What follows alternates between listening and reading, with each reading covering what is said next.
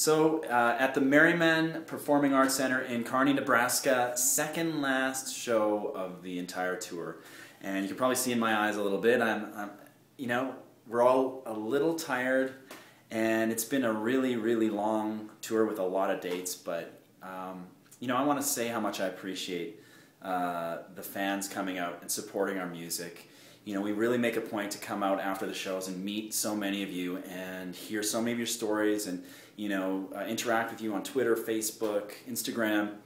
And it really carries us. It's a cliche, but, you know, we hear those stories, we talk to people, we feed off of your energy.